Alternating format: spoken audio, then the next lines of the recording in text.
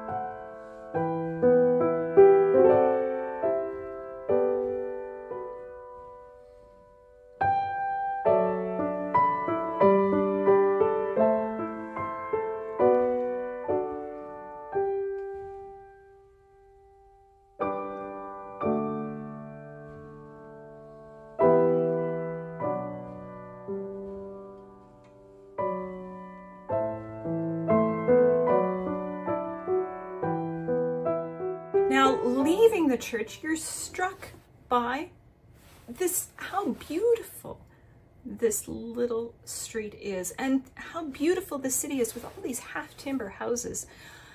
It's just, it's just lovely to just walk and take it all in. And we're just outside the church and coming around, you'll see this beautiful little green spot. France is filled with lots of these green spots. And, and now the guide is still talking in the background. I'm still listening on my headset, but just to find a quiet little beautiful spot. It's just lovely. Uh, and these are public areas, of course, and this beautiful church. You can just take in the sights. Oh, I just love it.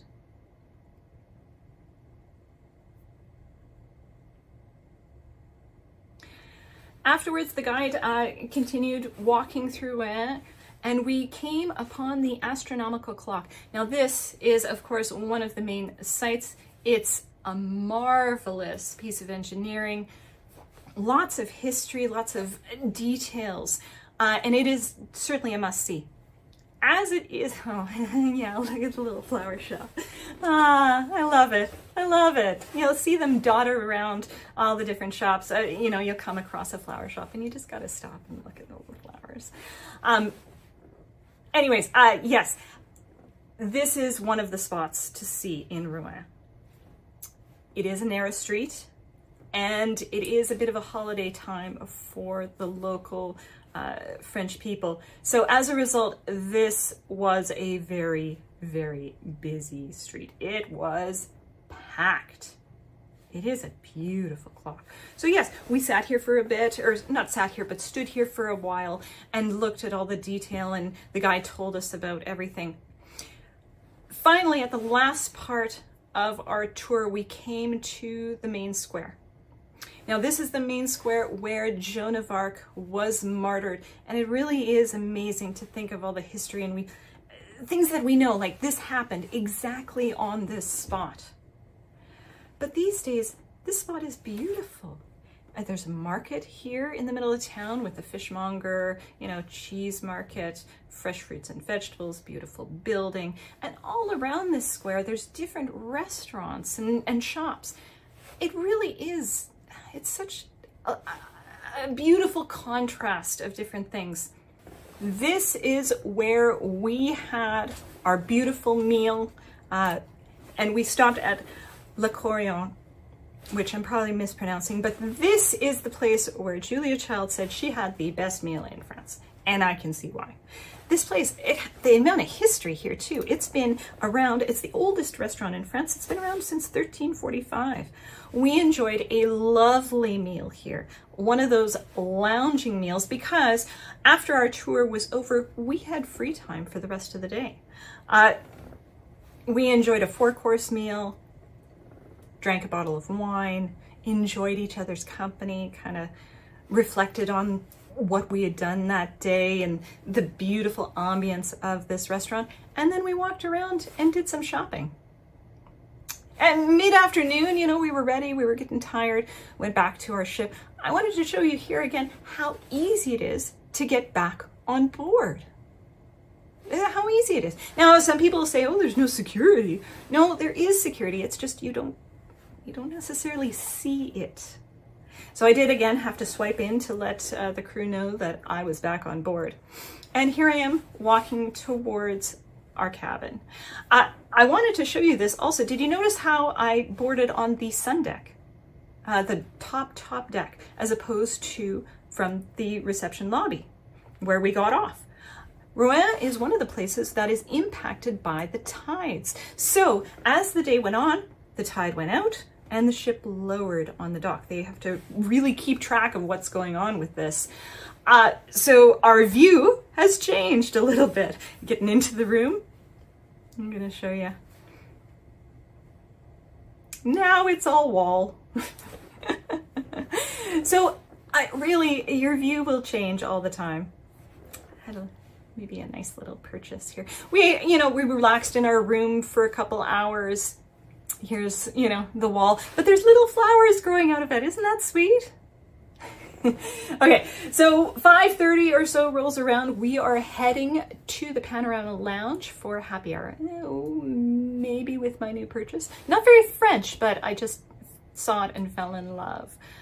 It was such a gorgeous day at this point in time that instead of sitting in the lounge, we decided to go outside onto the sun deck. The lounge is, you know, just above the dining room. Uh, so easy to get to, but this is kind of where everybody congregates uh, for happy hour. I'm gonna show you though how easy it is to get outside and get up. There is a door by the front, and there's a sitting area uh, just outside the lounge here as well.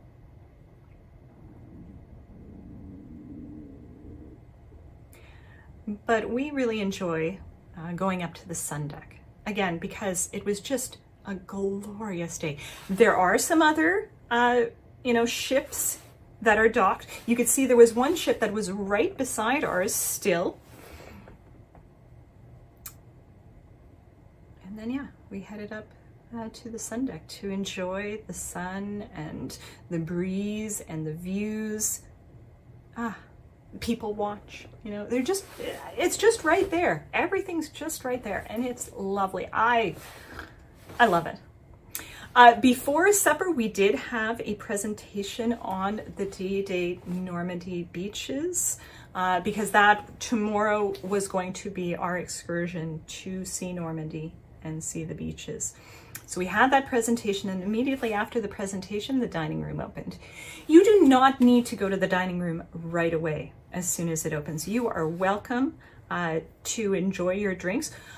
They have a lighter uh, self-serve food option for supper, the little bistro that's served in the Panorama Lounge if you don't want to go to the dining room, but most people do go to the dining room.